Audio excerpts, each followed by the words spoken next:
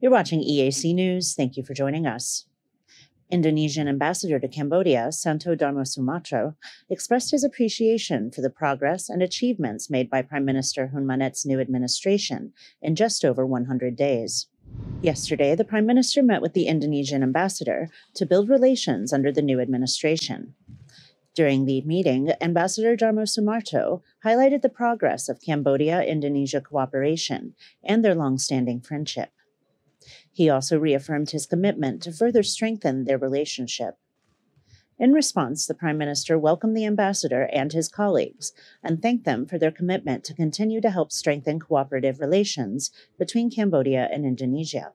The two also spoke about the potential in many areas, including economy, trade, and people to people contacts, especially by promoting connectivity between the youth of the two countries through student exchange and the exchange of young entrepreneurs. Kristen Winters, EAC News.